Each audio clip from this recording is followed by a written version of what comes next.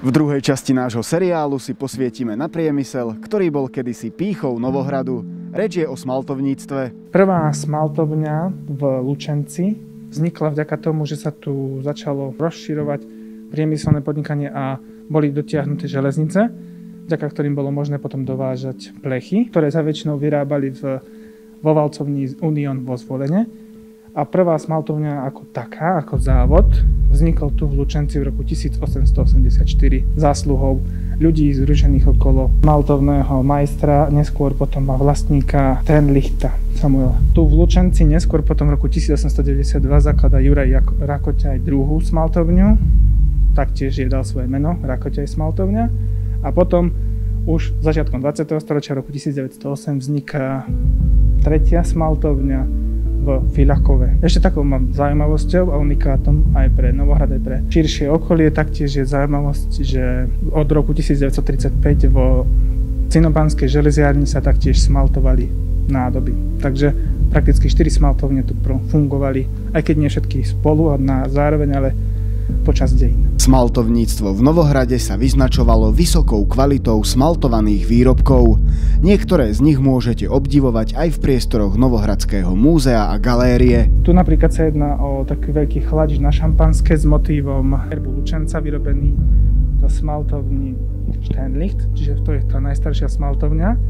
A potom typické pre tieto smalty, hlavne pre tie filakovské, bolo taký sortiment a aj unifikácia, takže napríklad veľmi podobné Smalty sa vyrábali v Rakoťajovej smaltovni, takisto ako aj v tej Štenlichtovej a zároveň tieto dve smaltovne si vedeli konkurovať kvalitou, ale aj kvantitou.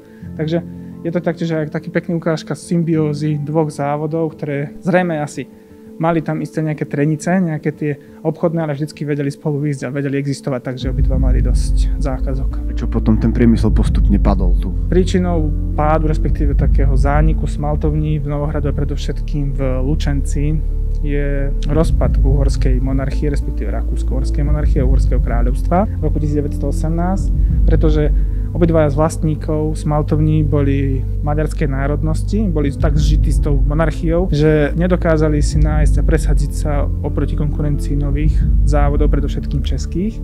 Taktiež dopravné možnosti, ktoré predtým boli pre Lučenec veľmi vhodné, pretože tu tá železnica bola, smerovala rovno do Budapešti a bolo to rádovo nejakú hodinu vlakom vzdialené, takže aj do, doprava tých výrobkov do centra štátu bola oveľa jednoduchšia, sa zrazu ocitlo na periférii, vysoké poplatky tu boli, potom taktiež aj do, dodávky tovaru už aj súrovín neboli tak ľahko možné prevádzkovať, takže nákladnosť zrazu stúpla a odbyt viazol, pretože ktoré smaltovne predtým vedeli vyvážať, predovšetkým ich trhy boli Balkán, Orient, ale aj takisto aj zámorie, nejaká Južná Amerika, po prípade fakt akože aj Afrika.